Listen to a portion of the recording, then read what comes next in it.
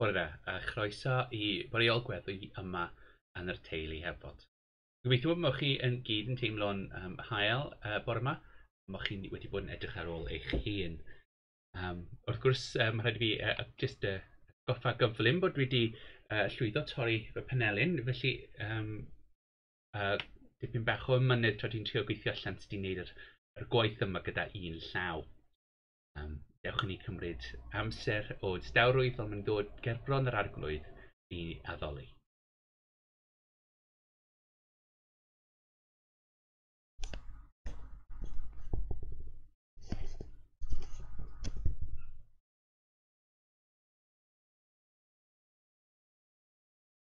Daethum ynghyd yn deulu diw ym mhresenoldeb ein tad, i roddi iddo foliant a diolch, i glywed a derbyn ei air i gyflwyno iddo anghenion yr holl byd ac i geisio ei ras.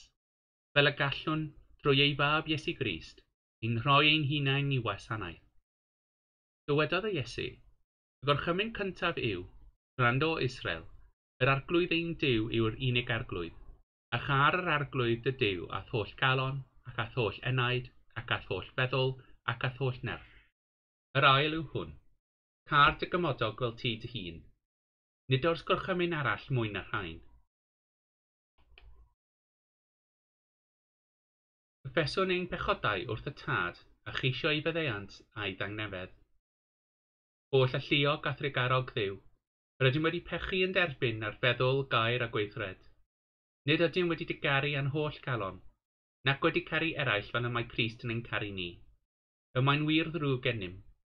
Yn dy dygaredd maddau i ni, Cynorthwyon ni i ddiwygio ein bywydau, fel y byddwn yn ymhyfrydu yn dy e, ewyllus ac yn rhodio yn dy ffyrdd, er gogoniant i ddenw. Amen.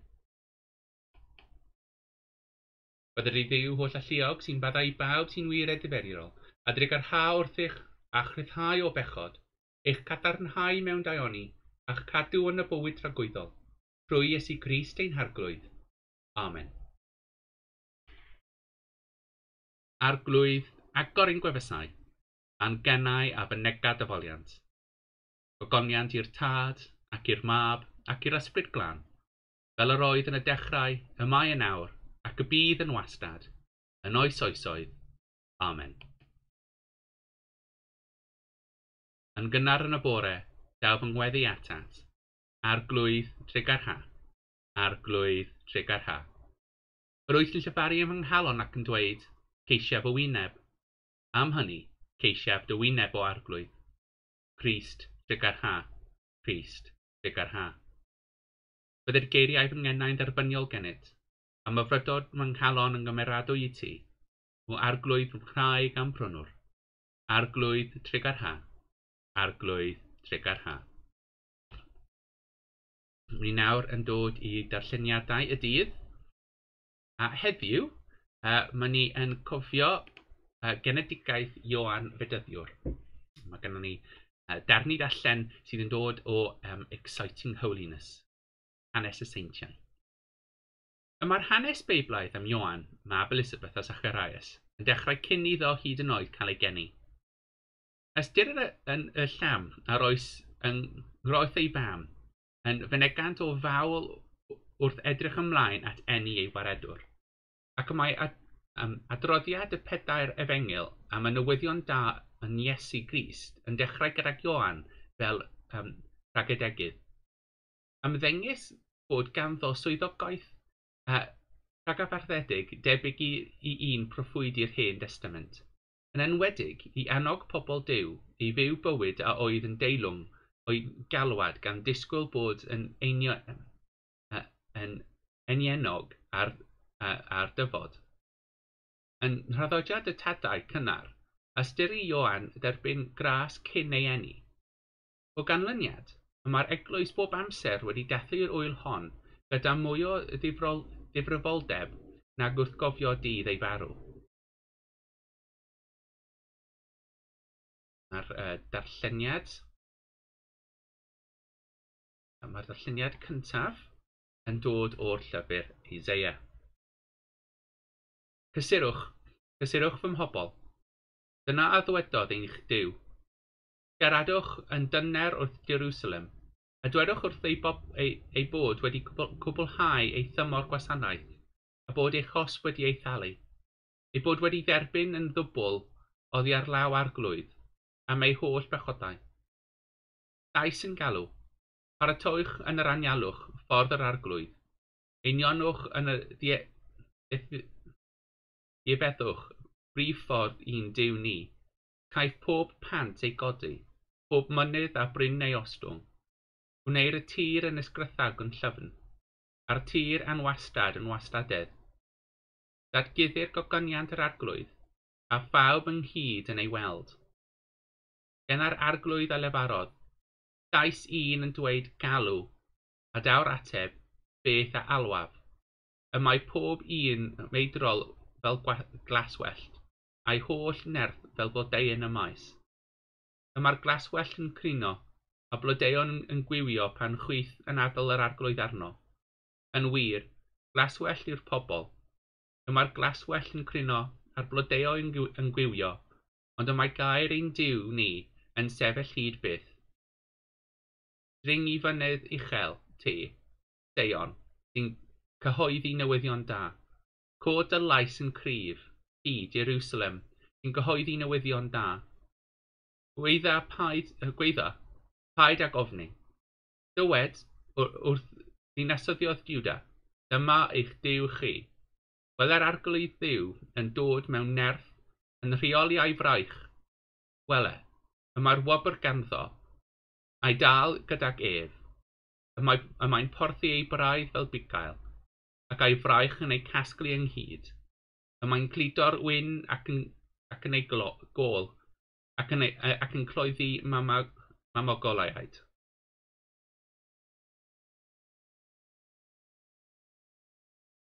Mae'r uh, ail darlluniad yn dod o'r llyfr Acnau. Ac eithant i'r synagog ar dydd Saboth, ac eistedd yno. Ar ôl y darllen y gyfraith, a proffwydi, anfonodd arweinwyr y synagog atynt yn gofyn, Frodyr, oes gennych air o anogaeth i'r bobl? Wnaethwch. Cododd Paul, ac wedi amneidio ei law dwedodd, Chwi Israeliad, a chwi eraill sy'n ofni ddiw, grandewch. Diw'r pobl hyn, Israel, bedwysodd hwn ein tadau ni, a dychafodd y pobl pan oeddent yn e-, estroniaid yn nglawd yr aifft, ac a baich eistyngodd e- fe, daeth a hwy allan oddi yno. Am ryw ddegan mlynedd, bu'n cyd ymddwyn â hwy yn yr unialwch. Yna dinastriodd saith genedl yng, yng Ngwlad Canan, a'i roi ei tir hwy yn etifeddeithiaeth iddynt am, am ryw 400 mlynedd a hanner.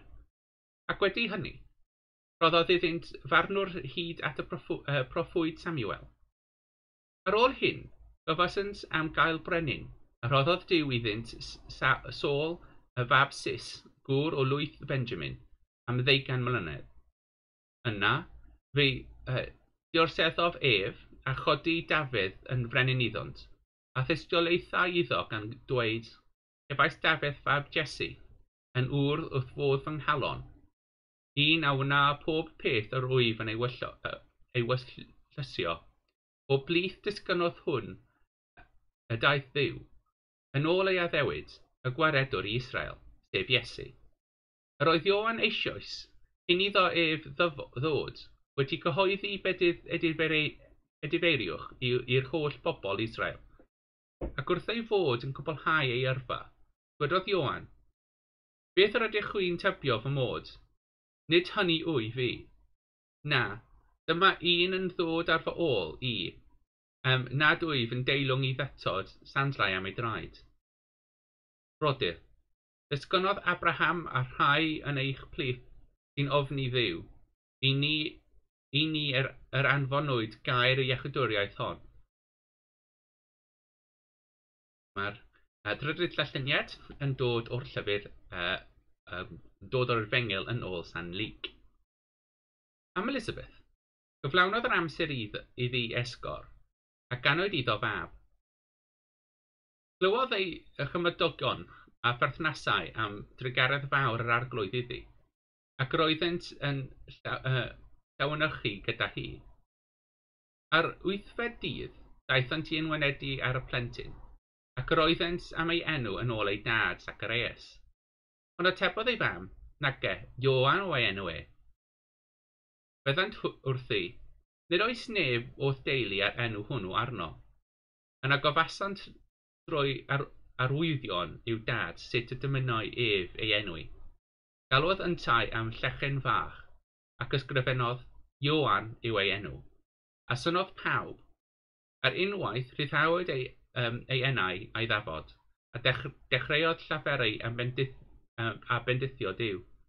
Daeth ofyn ar ei holl cymadogion a bu'r trafod ar yr holl ddiwygyddiadau hyn trwy'r fynydd-dir Judea i gyd. A chodwyd hwy ar gof gan pawb a glywodd amdanynt.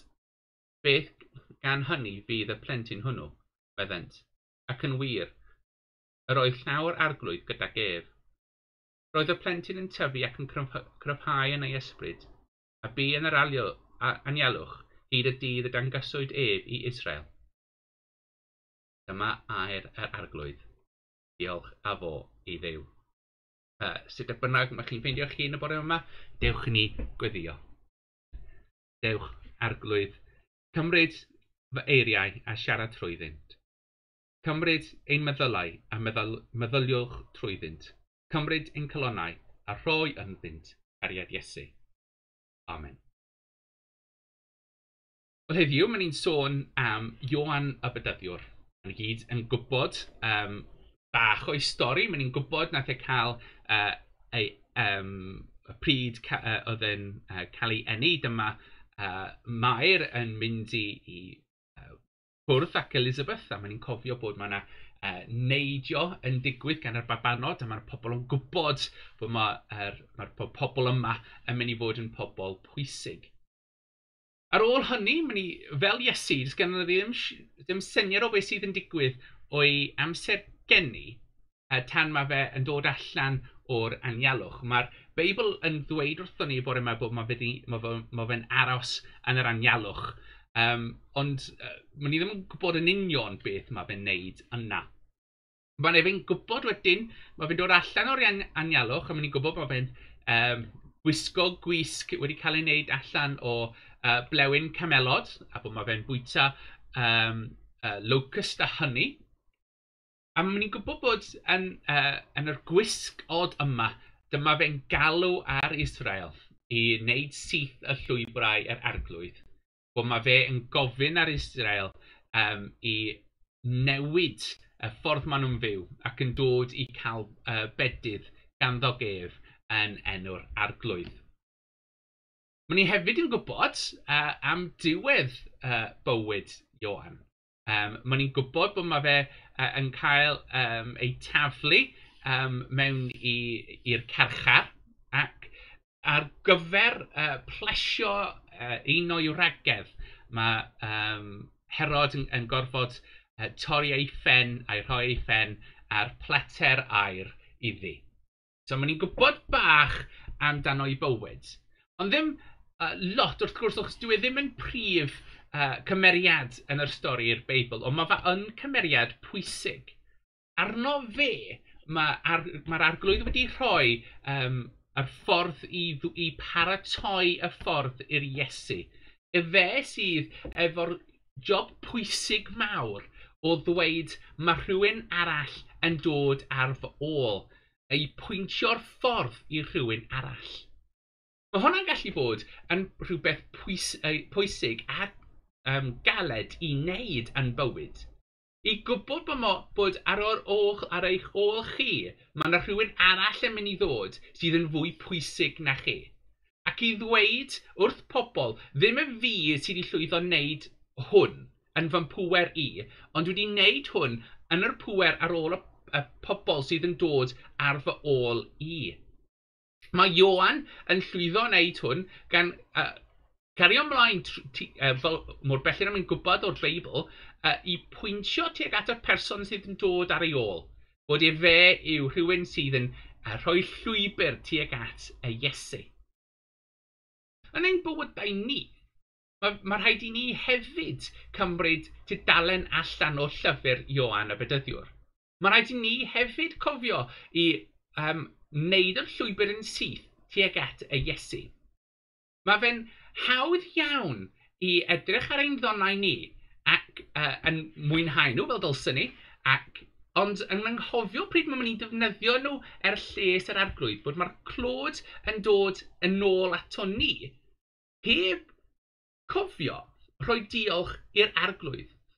O'r ddoniau mae'n y gyd yn cael ei wneud, enwedig pryd mae'n ei defnyddio er lles yr arglwydd, mae'r mae doniau yna wedi cael ei rhoi i ni gan yr arglwydd. Mae'r pŵer i wneud pethau fel hyn wedi cael ei rhoi i ni gan yr arglwydd. A mae rhaid i ni cofio bod, bod er mae, mae fe'n iawn i ni derbyn clod gan pobl arall, bod mae rhaid i ni atcoffa hefyd i ni rhoi clod i'r Iesu. Mae ni ddim yn um, mynd i'r erglwys um, er mwyn cael pobl edrych arno ni a ddweud pa mor dda mae ni. Er mae hwnna yn, yn um, help a mae fe'n lles i ni, mae rhaid i ni cofio bod pan mae pobl yn ddweud hwnna amdano ni, wel mae rhaid i ni ddweud bod mae'r Iesu sydd wedi siarad trwyddo ni. Yr Iesu sydd wedi rhoi'r grym e, i ni gallu wneud yr doniau yma yr Iesu sydd wedi uh, ddod yn ein hyd ni ac wrth ymyl ni i, uh, i ddangos y ffordd tuag at y Iesu. Mae'n rhaid i ni cymryd tudalen yma allan o llyfr uh, Iowan y Bedyddiwr a cofio bod beth bynnag mae'n ei wneud, mae'n ei wneud er lles Iesu. Beth mae'n dyddol sy'n ni fod yn trio wneud yn ein bywydau, i wneud yr llwybrau yn syth at y Iesu, i paid o bod careg all rhywun baglu drosodd er, a, a, a, a atal ddod at y Iesu, i wneud yr, yr ffyrdd yn llifn tuag at y Iesu. Mae hwnna'n gallu fod yn galed iawn. Ac wrth gwrs, mae ni'n pobl. Mae ni'n pobl arferol. A mae fel pobl arferol, mae ni'n ni, ni licio cael clod amdano, hun. Dwi'n uh, dwi, fel pawb arall, yn licio cael clod. Dwi'n licio'r diwedd, um, yr, er, yr diwedd y gwasanaeth pryd mae pobl yn ddweud wrthau, a mae chi wedi wneud yn iawn fecer. Ond mae'n rhaid i fi cofio, atgoffa fy hun, er mwyn atal fy ego i, tofi'n enfawr, bod ddim wir fi ath y gwaith yna. Ond Iesu, a, trwy'r ysbryd glân, yn siarad trwyddo i.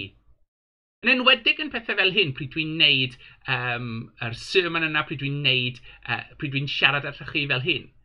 Pryd dwi'n gweddio'r ddechrau, dwi'n gweddio er mwyn neud yn siŵr bod mae'r Iesu sydd yn siarad trwyddo fi, ddim just fi sydd yn siarad ato chi a dweud wrthoch chi beth dwi'n meddwl um, angen arno chi i, i clywed. Ond beth dwi'n gobeithio mae Iesu eisiau i chi glywed. Gwrth gwrs, yn, yn hwnna, dwi hefyd, fel Ioan, yn trio wneud y llwybr yn syth at yr Iesu. Bod dwi ddim yn sefyll yn ffordd rhywun yn dod ger bron ar arglwydd. Wrth gwrs, Does neb yn perffaith. Does neb un ohono ni wedi llwyddo wneud hwnna uh, mor dda a naeth Ioan a Bedyddiwr. Mae gyd ohono ni troi'n fywydau achos mae ni yn pobl wedi, uh, wedi ddim yn parpwr pwrpasol efallai, wedi bod yn cerig uh, mewn y ffordd rhywun yn dod at Iesu. A beth mae rhaid i ni wneud yn yr achosion yna i fod yn ddigon dewr i, i ddweud bod mae'n flin genddo ni. Bod mae ni uh, yn sori a bod, ma, bod ni wedi mynd yn yr ffordd rhywun yn dod at y Iesu. Efallai, dys ni'n modd i ni um, ddweud bod ni'n flin i'r pobl wnaeth uh, baglu achos ni. Ond gallwn ni ddweud bod ni'n flin tuag at yr arglwydd. Bod ni wedi methu i wneud yn siŵr bod mae'r llwybr at y Iesu yn llwybr syth. Hwn hefyd yn gofyn i ni i rhoi rhan o'n hunain allan o'r ffordd ac yn bod yn onest gyda'n hunain. Bod pryd mae ni yn sefyll gerbron yr arglwydd, mae'r arglwydd yn gwybod beth mae'n ni'n wneud. Mae'r arglwydd yn gwybod efallai bod ni'n trio ni'n gorau, ond naeth e ddim llwyddo. Ond efallai mae'r arglwydd hefyd yn gwybod bod ni'n pobl. A mae ni'n pobl a mae'n cael yn, mae ni'n mynd yn grac. Mae yna pobl sydd yn galed i delio gyda. Mae yna'n pobl allan fyna pryd mae chi yn trio wneud y llwybr yn syth am yr arglwydd, bod maen nhw ddim wir eisiau cerdded y llwybr, a maen nhw'n rhoi yr esgus bod fai chi yw e, bod maen nhw'n methu cerdded y llwybr. Mae, mae Iesu yn gwybod hynna i gyd. Ond ar ein lles ni, mae rhaid i ni fod yn fodlon i bod yn onest gyda'n hunain. Bod yn onest amdano'r rhan nath ni ei treulio yn fod yn cerig yna, a dod â hwnna i gyd ger bron yr arglwydd. Mae'r stori y Iohan y Bedyddiwr yn darn bach o popeth y sydd yn digwydd yn y Beibl. Ond mae fe'n darn pwysig iawn. Ac er efallai mae chi a fi hefyd yn teimlo bod ni'n darn bach o stori'r Iesu, mae rhaid i ni cofio hefyd bod ni'n rhan pwysig. Mae Iesu wedi dewis ni i gyd i fod yn pobl sydd yn neud yr ffyrdd ato ef yn syth. A mae hwnna'n job pwysig, pwysig iawn. Ac sut bynnag mae ni'n teimlo, hyd yn oed os mae ni ond yn teimlo bod ni'n pobl bach yn deyrnas Iesu, mae Iesu yn cael, yn, yn gyda ni trwy hwn i gyd. Oedd Ioan, ond fel nath y ddweud ei hun, ond person bach yn, yn uh, um, yn Kingdom yr Iesu. Nath e ddweud amdano ei hun, oedd e ddim yn ddigon um, dda er mwyn gallu rhoi sandlau ar y traed yr Iesu. Ac os mae ni yn llwyddo bod uh, mor dda a hynny, yna mae ni yn gallu treulio yn ddeirnas Iesu. Felly sut bynnag mae chi'n ffeindio eich hun heddiw. Cofio bod efallai mae chi'n rhan fach o deyrnas Iesu, ond mae chi'n rhan pwysig. Cofio bod mae chi yn cael job pwysig o wneud o'r llwybr yn syth tuag at y Iesu. Ac achos, achos mae ni ddim yn perffaith, mae rhaid i ni gofyn yn, yn, yn, yn cryf yn, ac galed er mwyn gallu ddweud wrth y Iesu um, bod mae ni yn sori am pob tro mae ni heb wneud y llwybr yna yn syth. Mae ma ni, fel Ioan, yn cael job pwysig o wneud y llwybrau'n syth at y, pwrs, at y person sydd yn pwysig, yr Iesu ei hun. Amen. Wna i'n ddawr yn dod i ddweud y credo'r apostolion efo'n gilydd. Credof yn niw, dad holl gyfoethog. Gredwr nefoedd a ddeiar. Credaf yn Iesu Grist unig mab Dyw ein harglwydd ni a genhedlwyd o'r ysbryd glân, a anaid o fair forwyn, a ddioddefodd dan Pontius Pilate, a roes hawliwyd a fi farw ac y gladdwyd. Disgynnodd i blith y meirw, ar y trydydd dydd fe atgyfododd, esgynnodd i'r nefoedd, ac yma'n eistedd ar ddeihew lawr tad, ac fe ddaw i farn i byw ar meirw, credaf yn yr ysbryd glân, eglwys lan gatholig, ymyn y saint, fyddeiant bechodau, Atgyfodiad corff a'r bywyd dragwyddol. Amen. Ni nawr yn dod i'r amser gweddi, gweddiwn.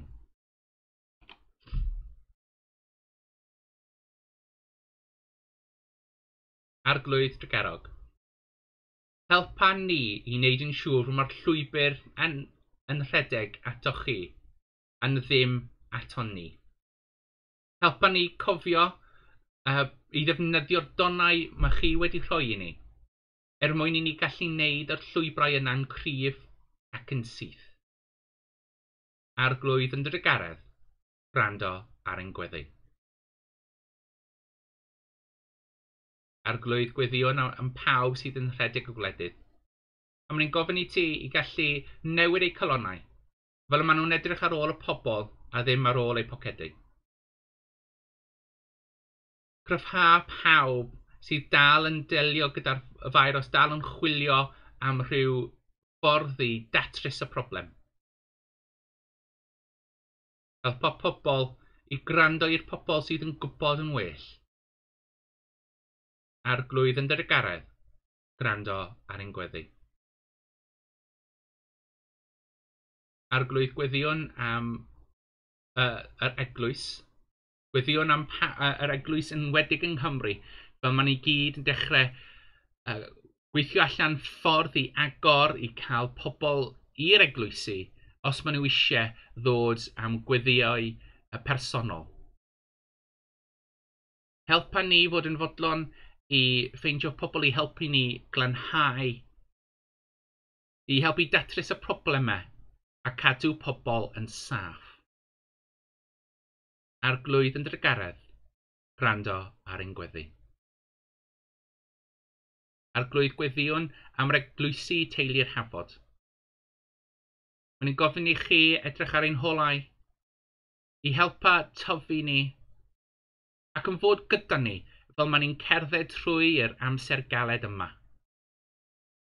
Helpa ni i ddilyn lle mae chi yn arwain. Ar glwydd yn drygaredd, gwrando a'n gweddu.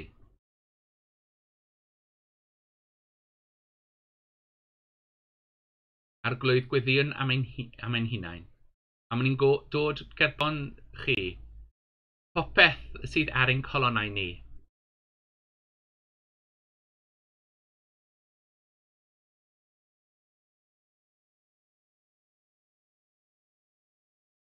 Arglwydd, maen ni'n gwybod bod mae chi'n clywed ni pryd maen ni'n gweddio.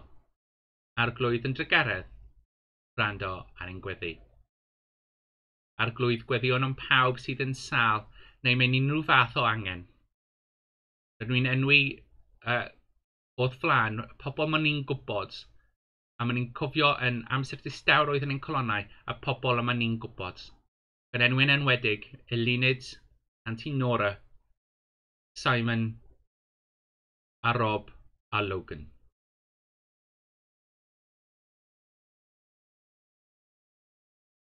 Arglwydd nerthan nhw gyda dy gariad di. Arglwydd yn dy garedd, gwrando ar ein gweddi.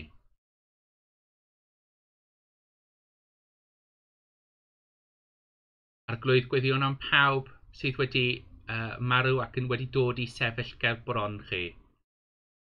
Mae'n ni'n cofio yn ein colonnau pawb ar ydyn ni'n nabod a pawb um, bod mae'r dydd cofio yn dod yn agos i'r adeg yma enwedig yn cofio cliff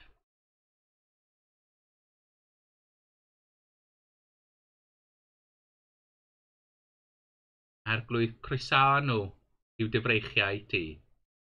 arglwydd yn dygaredd, gwrando ar ein gweddi arglwydd gweddion am yr ysbryd glân i ddod trwy'r lle yma i nertha ni ac, ac i codi ni ac i helpa ni i tyfu fel eglwysi mewn niferoedd ac mewn dyfnder ysbryd. Helpa ni ymestyn allan i'n, teulu uh, i'r pobl o'n gwmpas. A mae'n ni ddod ar gweddiau ni efo'n gilydd gan ddweud yr gweddi yma chi wedi dysgu ni, gan ddweud ein tad, yr hwnnwyt yn y nefoedd, sancteiddiau dy enw, dyled dy dernas, gwneled dy ywyllus, megis yn y nef, felly ar y ddeiar hefyd, Dyroi ni heddiw ein bara beunyddiol, a maddau ni ein dyledion, fel y myddeuon ninnau i'n dyledwyr, ac nac arwain ni i brofedigaeth, eithir gwared ni rhag drwg, hanes eiddo ti a'r gallu a'r gogoniant, yn oes oesoedd. Amen.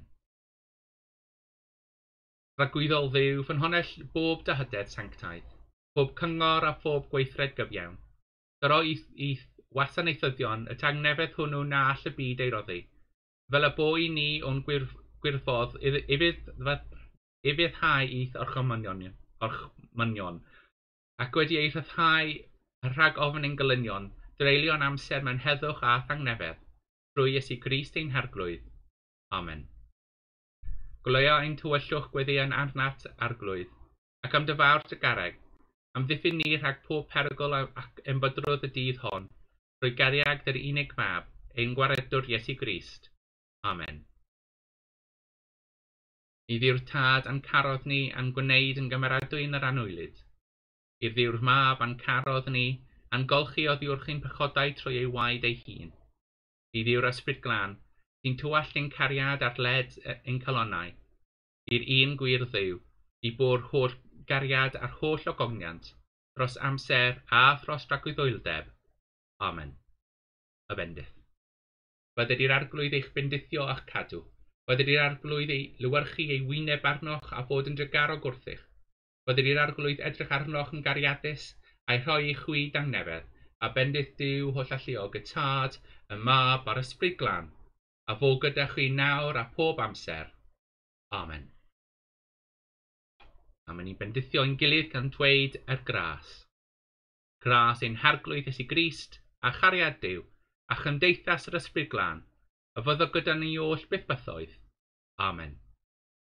Yr arglwydd a fo gyda chi, a hefyd gyda thi. Ewch yn nghangefedd Crist i ddiw y bôr diolch. Wel, diolch am ymuno gyda ni y bore yma. Dwi'n gobeithio mae chi wedi uh, mwynhau yn dod efo'n gilydd i addoli'r arglwydd.